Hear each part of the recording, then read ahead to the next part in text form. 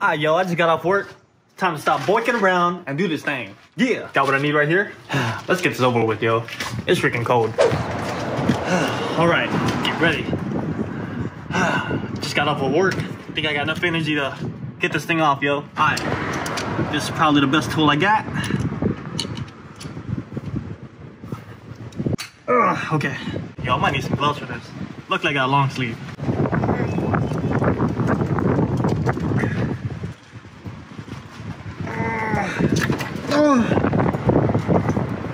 Dude. The screw extractor just broke. What the freak? Oh man. Yo, just when I thought it couldn't get any worse.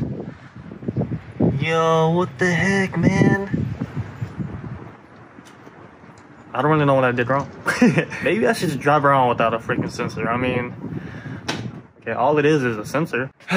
all right, I'm not too worried though. Um, believe it or not, I've been here before. Yes, I broke a screw extractor in the head before. And I found that the only thing that could cut through this material was a Dremel. So, time to pull the Dremel out. Man, this is such a weird angle though. See it though? It's like, it's not flat, it's freaking... Jeez. Man, I think it's time to bring the lude in the garage because it's freaking cold and windy. I need to get in the garage and be warm so I can work on this thing, man. I gotta cancel all the plans for tonight. night. I really want to make it to Cars and Coffee tomorrow, so let's do it the same. All right, so the lude is in the garage. It's super crowded in here. Yo, I just had another idea. So see how much this is sticking out, right? The extractor. I'm thinking that I can hammer it down. So even though the extractor is getting tighter, the sensor is gonna break loose. That's the idea. I mean, worst case scenario, the extractor is just gonna chip off and break, and uh, yeah, life just gets harder from there. But if I'm lucky, or you know, if things go my way, if I hammer it down, it's gonna unscrew the sensor and uh, break it loose, and uh, I'll be able to make it to the car meet tomorrow. Yeah, let's try this.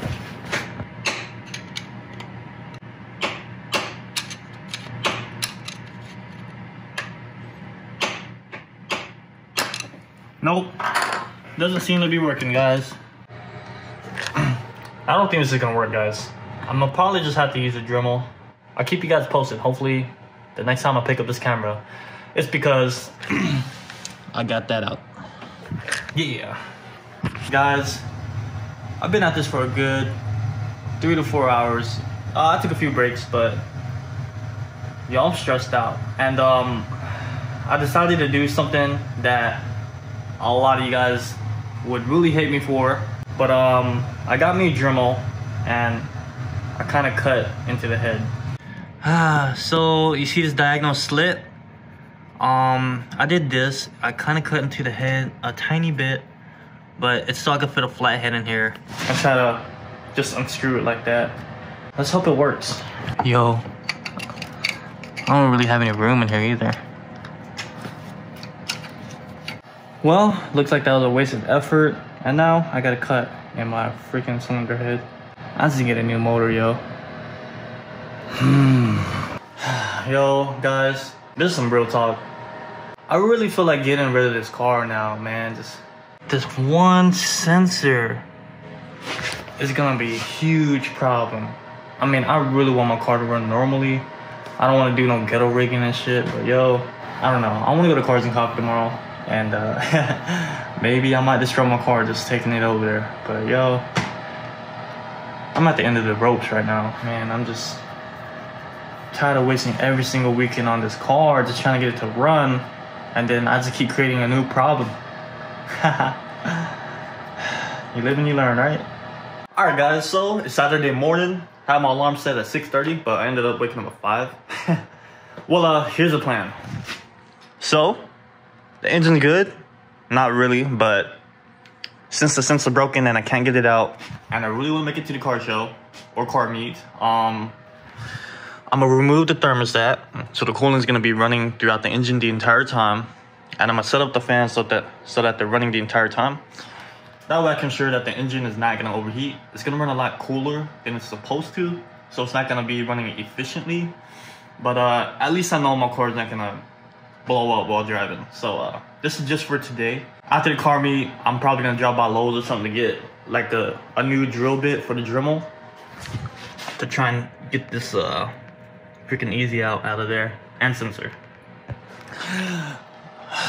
it's pretty cold in here. but luckily, I got this thing to assist me. Yeah. All right, let's do this thing. All right, so back to an open thermostat. This is gonna allow coolant to run freely through the system. Okay. Yo, I'm freaking freezing. It's cold, but gotta make the lube look good though. Woo. Can't go to a car meet with the car looking all dirty, so gotta suffer for a little bit. See, girls, they get ready by doing makeup. Men, or guys, car guys, car people, we get ready by getting a car right. Yo, my hands are so numb. I got the drag and try to wipe it. My hands just like flew off because everything's so stiff and cold. So I accept that this is the best it's gonna get for now. It's so cold and yo, it does look picture ready. Most of the car's still wet, but it's gonna air dry on the highway. So I need to put up this hose and get ready to head out. Go meet up with Peter and we'll go have a coffee. So what's cars and coffee without a coffee? So let's do this thing. Yeah. Yo, what's up guys? Well, I made it to Cars and Coffee. Yeah. The lube made it over there without overheating. Ooh. Well, actually, I don't know if it overheated, but uh, I did what I could to make sure that it wouldn't overheat. So, that's that. But yo, made it to Cars and Coffee. Had a really good time. This was my first time actually getting there early. I got there about 8 o'clock, and yo, it took almost forever to find parking. my freaking left foot was getting so tired of holding down the clutch. You know, it was like stop and go traffic within a parking lot. So, man, that was crazy. And yo, shout out to everybody that came up to me and said, what's up, man? You know, we talked a little bit. It was cool, man. Um, I'm glad you guys uh, check out my videos and, you know, come up to me and say, what's up, man? Thanks for that, guys. it's pretty cool. Maybe next time I'll start bringing some goodies to hand out, you know, maybe some stickers or something. Who knows? But yeah, good time at Cars and Coffee. Looking forward to many more meets. Hopefully the lube doesn't give out on me. And hopefully we can keep making it to these car meets. So, yesterday was rough. Um, I made everything worse by breaking that easy out. And I spent hours and hours and still couldn't get it out. But yo, after the car meet, I went to Harbor Freight and got me this. Not these, what the heck? This is a, uh, this is Scholars. Uh, a 20 piece diamond point tips. Pretty much, um, this is for a Dremel and it's used for like just grinding stuff down or cutting into things. And so, uh, this was exactly how I cut through an easy out the first time I had this issue. yeah, this isn't the first time I broke an easy out within another screw. So it ain't new to me, but it's still pretty tough. I'm not really sure that I'm gonna be able to get this one out, but I'm gonna try it because yo, if I don't, man, I'm gonna just have to get a new motor and what the heck? I pretty much just rebuilt this motor. Why get a new one, you know? So I gotta do what I gotta do to fix this issue. Yo, it's so freaking cold. Let's go and bring the lude in here, close the garage, turn up that heater, and just work in this small little camped area. But yo, I'm thankful I got a garage to work with. A lot of you guys out there don't have a garage, and I know the struggle. You know, if you guys see my a couple of my past videos, yo, I was out there in the cold, in the snow, in the rain, and doing what I could to work on the car, regardless of the weather.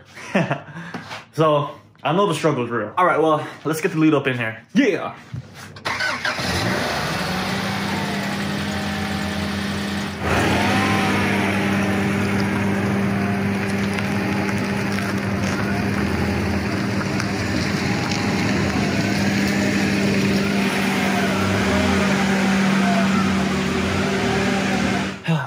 Right, so this is the plan for today. We're gonna take this back off the distributor and everything that's in the way right here. We're gonna flush the coolant. Uh, we're gonna get that easy out and that broken sensor out of the head. The reason why we gotta drain the coolant is because when I get to the sensor and the easy out, I gotta drill into it, yo. And I don't wanna, I don't want no coolant just like randomly spraying out, you know? I don't know which one to choose. Well, we do want to dig straight into it, so we'll get something with a pointy tip. All right.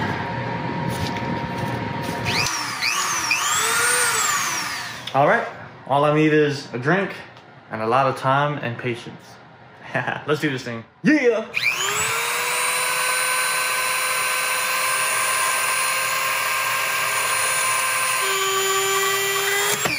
Oh, oh, oh, oh, jeez. Wow. I'm tripping. Wow, this is gonna take a while. All right, so I don't know if you can really tell, but we are making progress. It's a little deep. I found that the circle tip is very effective. So it goes in about that much. That's a lot. What's a good amount? Yeah. This is definitely taking a long time. But slowly but surely. Yo, check this out. I got a lot out. And geez. This looks super cool. Look at this. It's a super sand. Whoa. So I think the hole is deep enough for me to use like a screwdriver or something to try to get that thing out. Alright guys, so after hours of doing this, I got good news. I got it out. But yo, I did not think to even remove this upper hose to look in the hole. Cause yo, it probably would have been a lot easier to work through this hole right here to unscrew the sensor that was stuck. Pretty much, I never even had to use the easy out. so, the good news is the sensor's out. The bad news is this hole needs to be retapped. Pretty much I'm gonna have to drill a bigger hole and use like helicoil to make threads so I could screw that sensor back in. But I'm gonna take a break. I think I'm good for today. Hopefully I can get this fixed. Yeah.